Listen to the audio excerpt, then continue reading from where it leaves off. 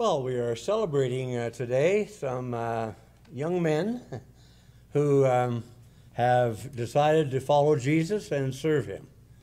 Got a couple of other fellows who are also wanting to give testimony to that. I'll introduce these uh, gentle giants to you in a moment or two, but I want to talk to you about uh, what they are about to do. It's called baptism. It's a command of Jesus Matter of fact, everybody who in the New Testament became a follower of Jesus was baptized, maybe with the exception of the thief and the cross, who really didn't have an opportunity.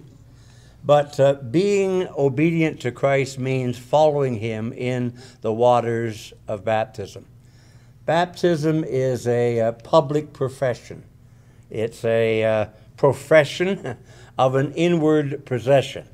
It is really saying, I have trusted Christ as my Savior, and I want people to know that. I want it to be public. Uh, baptism is brought over into English. It's really a Greek word. The New Testament was written in Greek, and uh, the uh, Greek word baptizo means to immerse, uh, to put under. Matter of fact, if you've done any uh, tie dyeing, uh, that's the same word that would be used to put it under. Um, because of the symbolism. The symbol is that a person is um, dying to their old life, they're being buried, and they're being raised to walk in the newness of life. So it is a picture of what a person experiences when they become a Christian. They die to their old life, they identify with Jesus Christ and they're raised to walk in newness uh, of life. I want to uh, introduce you uh, to uh, these uh, two uh, young men who I've known um, all their life. Had the privilege of dedicating them a few years ago. Matter of fact, I guess almost almost 16 years ago. Um, Ryan McGilvery and Brandon uh, McGilvery. I say um, gentle uh, giants, uh, they weren't always gentle. Uh, a little while ago, I gave them a picture, uh, a beautiful picture of uh, them with my granddaughter in a children's choir. And there were Brandon and Ryan standing angelically part of that choir. I knew that wasn't the way it was at home. As a matter of fact, what was happening at home was legendary. Um, uh, Todd and Rebecca would report each week about the challenge of raising uh, these two boys. Don't feel badly for Rebecca.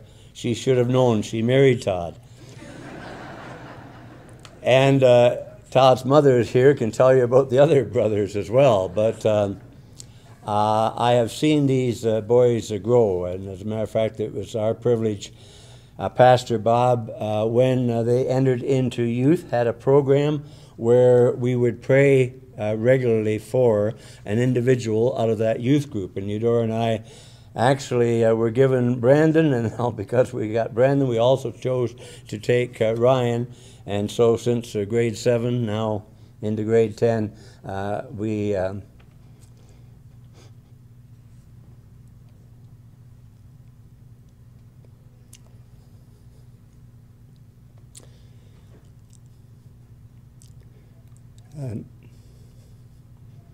have uh, prayed uh, regularly for these young men. So uh, it is a personal uh, privilege uh, for me to be involved in their uh, baptism today. In the third book of John, um, John says, There's no greater joy than to see um, children, followers, young people uh, following in the ways uh, of the Lord, and that is my privilege uh, today. I'm um, going to uh, baptize them individually. Um, Ryan is going to go first, he's the elder. And, um, and then I'm asking Brandon um, to help, and then Ryan to help with, uh, um, uh, with Brandon. Um, for two reasons. One, because I'm not sure I can lift these guys out of the water. And also, I want it to be symbolic. Baptism is symbolic. I want it to be symbolic. They may have been a help to each other in getting them into trouble years ago. I want them to symbolically indicate uh, that for the rest of their life, uh, they will be desirous of helping one another grow to the next step in serving God and growing in a relationship uh, with uh, Jesus. So, um, Ryan is going to give his uh, testimony first of all. Ryan? Uh, hi there. For those of you who don't know me, my name is Ryan McGilvery, and I'm 15 years old, turning 16 in a couple of days. I was born and raised in a Christian family, and I've attended Westney Heights Baptist Church with my parents all my life. When I was about six or seven years old, I accepted Jesus into my heart because I wanted to be a Christian like my parents, but I was not too sure what that meant at the age. I just knew I wanted to go to heaven. Shortly after accepting Jesus into my heart, when I was in grade 1, I broke my arm on some monkey bars at a park. I ended up needing surgery because it was a bad break and I had to be taken to Sick Kids Hospital. This was the first time I felt God personally in my life. I could see Him working through other people for me. My aunt came all the way home to get all my favorite stuffed animals bring them to me. My surgery was delayed for 24 hours until the head of surgery was on duty, and I knew many people were praying for me. My love for adventure and risk taking continued, and around age 10, I had another major injury. I got a concussion while tobogganing. It took a while for the damage from this injury to show up, but when it did, the part of my brain that got injured caused me to struggle with anxiety. The most powerful thing that helped me get through my anxiety was writing out scripture verses and posting them all around my bed so I could read them when I was anxious.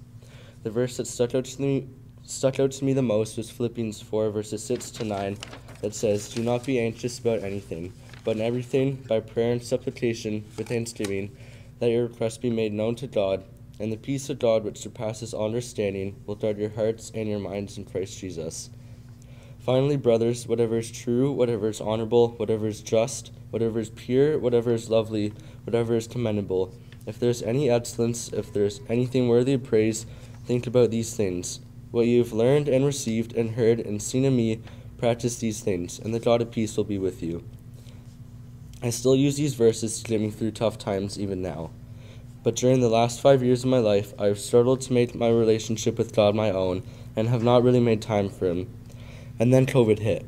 During the first year, I started to feel a loss of connection with people because of the lockdowns and I was confused and questioning what God's purpose for it was. I knew I still had a strong connection with my two best friends, Nathan Chrisman and my cousin William. However, during this time, God was also working behind the scenes to provide another amazing group of friends. They introduced me and Brandon to a weekly worship night called The River and several Bible studies with other Christian kids that have further challenged and grown my faith. Then, a couple of months ago, I attended a men's Bible conference with my brother and dad. One of, one of the pastors that we met there was talking about end times and being ready if Jesus was to come again soon. What he said that really stood out to me and really made me wonder if I'm ready to meet God right now or if there's more that I need to do. After that conference, the topic of baptism was brought up multiple times in conversations with my friends at school and my family during dinner.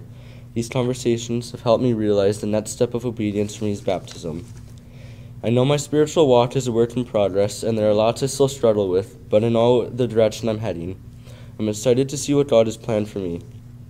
God is continuing to provide opportunities for me to grow in my leadership and faith, and I know He's drawing me closer to, closer to Him. I've really been impacted by the scripture, John 10, verses 27 to 29, which says, My sheep hear my voice, and I know them, and they follow me. I give them eternal life, and they will never perish, and no one will snatch them out of my hand. My Father, who has given them to me, is greater than all, and no one is able to snatch them out of the Father's hand. I'm standing here today to say I want to spend the rest of my life learning to hear my shepherd's voice.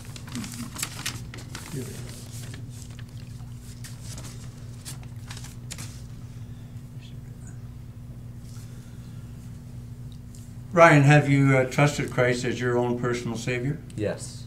And is it your intention to live for Him for the rest of your life? Yes. Then in obedience to the command of Christ, and because you have requested it, I now baptize you in the name of the Father, and of the Son, and of the Holy Spirit.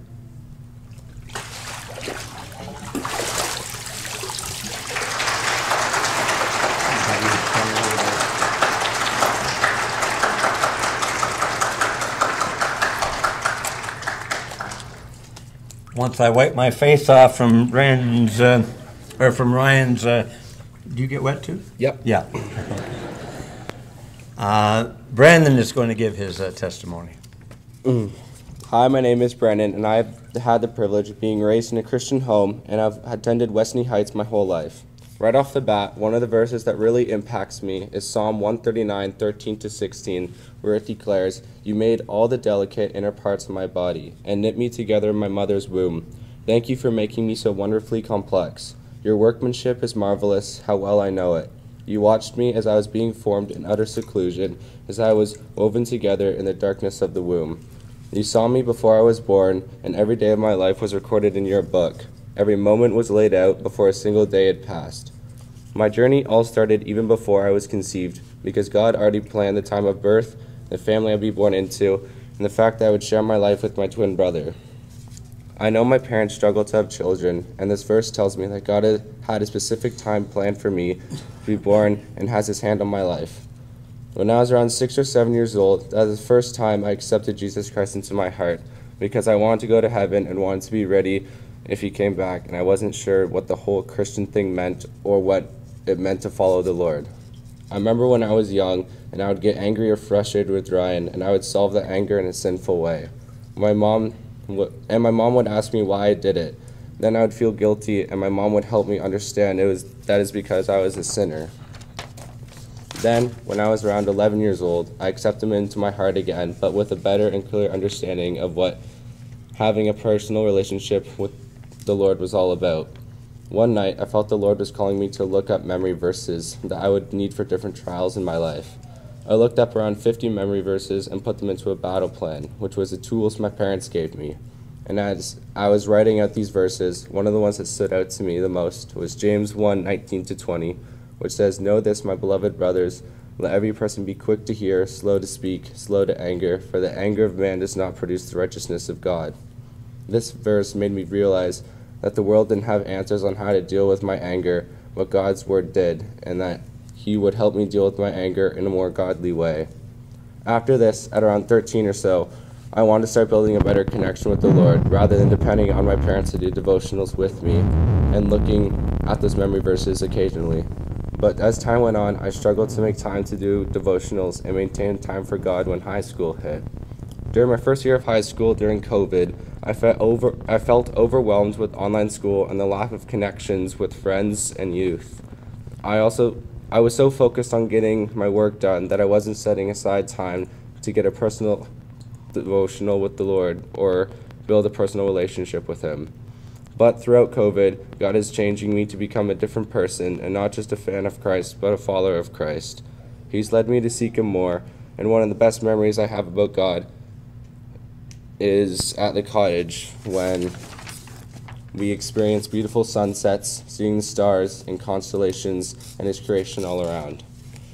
Then, in early in 2022, I decided to attend a men's Bibles conference with my brother and dad, and that conference was based on the idea of Are you ready? It encouraged me to take further steps in my walk with Christ and not to be a lukewarm Christian.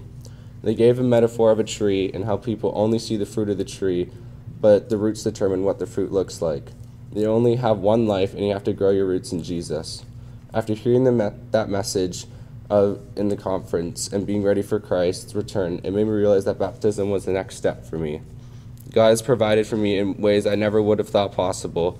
One of those ways was being introduced to a new group of Christian friends that have introduced me to a praise and worship gathering called The River, and it allows me to experience God in ways I've never have before. The message there has really spoken to me and reminded me not to focus on the what in life, such as hope, worry, hopelessness, affirmation, or trials that distract you from the who, which is God, and to worship Him only. The worship experience at the river has caused me to want to grow closer to Him and desire His plans for my life. I know my Christian walk won't be perfect and that Satan has a plan for my life as well, but God is the Alpha and Omega and has the final say in my life. He's the beginning and the end, and I want to do I want to follow him in all that he has for me.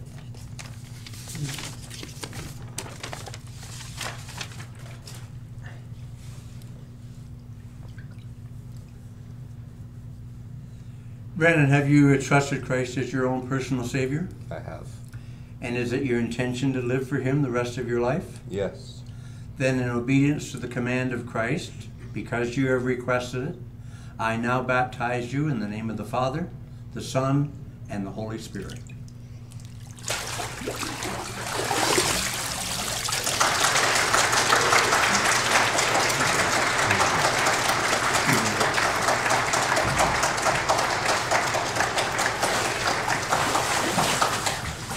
We believe that we have done as the Lord hath commanded, and yet there is uh, room. Heidi, I think we are ready to uh, worship uh, the Lord. If we aren't ready now, we never will be. Come and lead us.